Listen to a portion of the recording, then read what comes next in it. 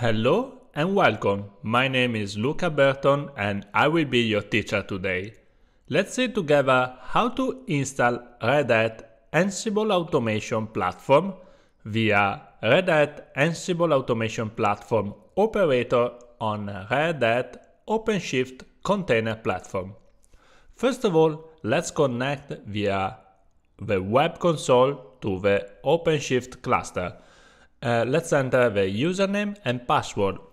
In my case, I'm using kubeadmin and secret password, but feel free to customize in your environment. This configuration might vary and usually are provided by your cluster administrator. Once we got a successful your login, we get the main dashboard of OpenShift. This might be familiar to you, or uh, and this is one of the latest release, one of the latest uh, 4.9. Let me uh, magnify a little bit so we can all read my screen. Okay, so this is the main dashboard. Um, the main component is the menu bar on the left and this big area where we can see all the data of our cluster, the CPUs and uh, um, all the resources of our cluster. So how to install the operator? Well, there is an operator section and the best part is operator hub. This acts like a marketplace where we can select different type of uh, solution provided by Red Hat or Red Hat par partner. This is a great resource because there are many options for a lot of interesting things and underline it relies on Kubernetes operators. So these are standard resources that help us to install instances and additional component to our cluster. In my case, it's taking a while. Uh, behind the scene is connecting to some remote server and uh, fetching the all available resources.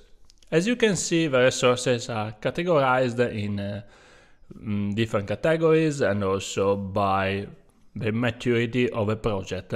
Let me scroll down a little bit and I find out Ansible Automation Platform Operator. Cool, this is latest edition 2.3 in my case and uh, as you can see super easy and everything is well documented. The only things that we need to do is actually click the install button. As you can see, there is all the step by step that we need to follow in order to install the operator in our cluster.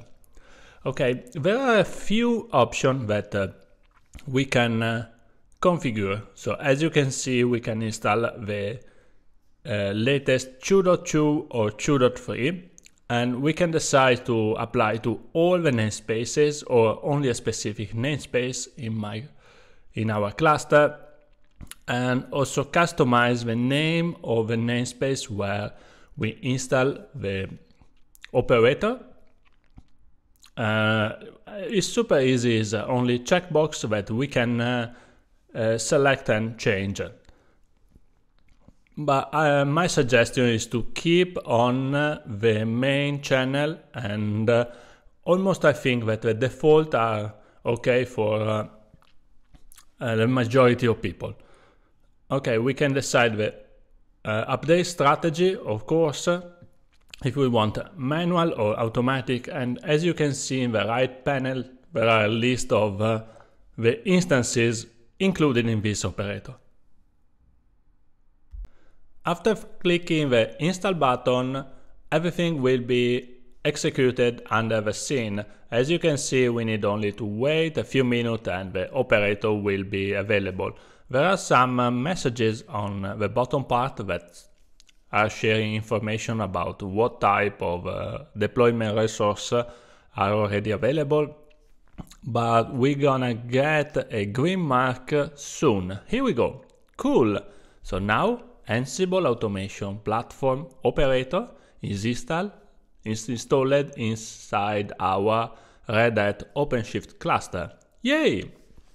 Okay, but probably we would like to take a closer look now on the newest operator.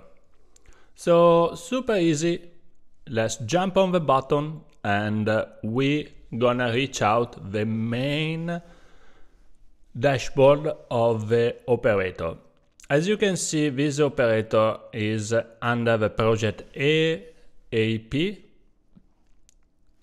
that is uh, an acronym for Ansible Automation Platform and provide an automation controller, automation backup, automation controller backup, uh, a lot of interesting instances.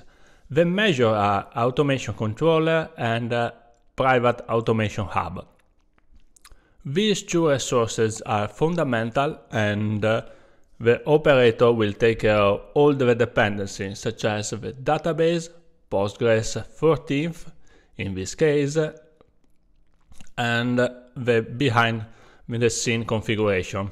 For further details, just take a look on the install guide officially provided by Red Hat. But let me show you how to create an automation controller just hit create automation controller and uh, you should enter the name of this machine and you can customize also additional parameters such as uh, the name of the admin user, the email address and the secret that we would like to use. If we don't provide the secret, it will create a password for us. There are many other details that we can customize as you can see, but uh, for the full description let's refer to the install manual because this parameter can change version to version and is easy to refer there. Anyway, for the sake of this video, once we customize everything and we are ready to go, just hit the create button and under the hood the operator is going to communicate with OpenShift and create a new Ansible controller instance. As you can see, the status now is running and our example Ansible controller is ready to go. Inside the AAP namespace, everything seems uh, correct. You can review also the all the configuration. So if something is not uh, fitting your needs, you can customize and we can see that is actually running. That's great because uh, the operator create also the resource association. As you can see, there is a WebSocket, Postgres 13, and also the configuration, the secret, all the important things for running our containers in a safe environment. So that's great. And you can also reveal the password for the admin user. This is my current one. And as you can see, it's completely random. So just copy and connect to the login interface. Isn't easy? I think so. So there are more details that you can take a look. So this is a normal container inside my OpenShift cluster. As you can see, there is also a YAML definition with all the settings that uh, are only some variable through the container instance. On the events, and there is no events, so cool. But let's manage using the operator. As you can see, there are a lot of different tabs that allow us to show all the instances. In my case, there is the example controller. we jump back to the same screen as before. We can also edit the controller or delete straight away. So what we can do further on? Well, I really like this uh, dashboard from uh, uh the Ansible automation platform operator because it's very clean and uh, it's easy to find out the resources. As you can see now we have only one Ansible automation controller. There are many other type of instance that we can create. For example, automation controller backup, automation controller restore, and all of these are the tab under this line. And there are also the automation, automation hub, automation hub backup and restore. Let's create an automation hub. Automation hub is a place where you can store our custom role and collection as um, same as Ansible controller, you can customize the parameter. I created an example one and in a blink of an eye now is uh, spinning up. As you can see, there is no label and it will be created under the AAP namespace. At the moment, the status says dash, but uh, sooner it will become uh, running.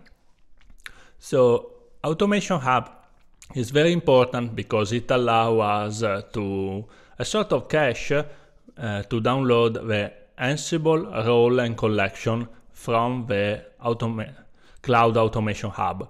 This is the enterprise edition of Ansible Galaxy and uh, is very important because there are all the resources from Red Hat and the partner. As you can see, there are many options like uh, the Ansible controller. We can customize all, especially also the resource limits and requests. These are very important in my cluster. And uh, what else? We can take a look at the current usage, oh, not yet, the event stream, and let's see the main dashboard what uh, report now. Cool, now on the all instances we can see that uh, the automation controller is running and the automation hub not yet, but in the all instances we can see the overall overview of the current Ansible automation platform in our cluster. Okay, now let's imagine that we would like to take a look in the chronological order about the history of the events that happening. So we need just to click on the events and we can see the streaming event one by one of what happened. As you can see, the operator lifecycle manager is taking care of all the resources and we can see that each of these containers was spinning up in a certain amount of time. So this is the main part of the operator. As you can see, we can check it out uh, which update channel we are using, if uh, the update strategy is automatic or manual, and we can also customize it.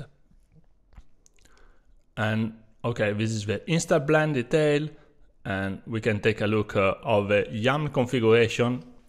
But the part that I really like is this view because it allows us to see all the type of instances that we can create with the operator.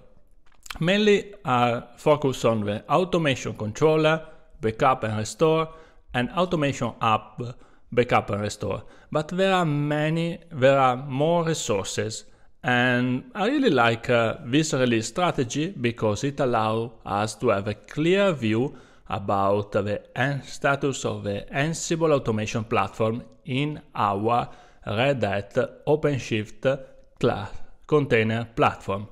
Yay!